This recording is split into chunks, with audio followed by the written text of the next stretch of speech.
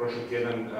Visoki kazneni sud e, pismom od ministra Habijana traži veće plaće viših sudaca, kažu da ne mogu funkcionirati. On nije riješio dugoročno probleme u pravosuđu, niti u smislu dizanja, adekvatnog dizanja plaća, pogotovo za one najniže rangirane službenike, koji su najčešće i službenice, o čemu smo ovdje i prethodno razgovarali i zagovarali njihova prava, međutim to nije